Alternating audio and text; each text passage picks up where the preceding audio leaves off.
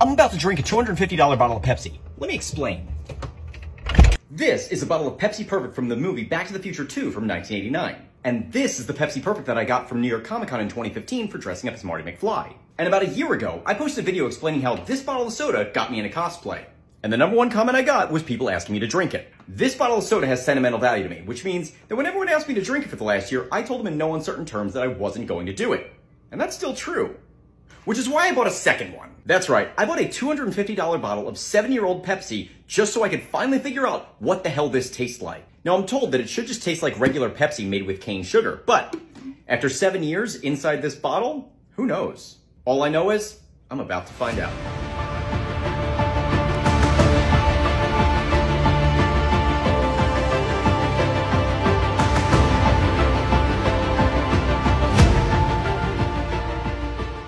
Cheers.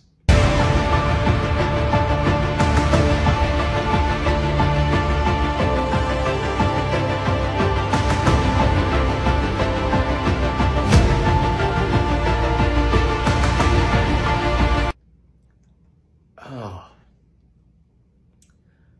I mean, it's not. It's not bad. I mean, okay, it's it's actually pretty bad. It's not as bad as I thought it was going to be.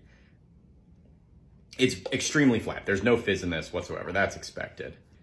But as soon as I tasted this, it it actually reminded me of the flavor you would get when you would put your cup under every single spout at like a drink dispenser. That's what this tastes like.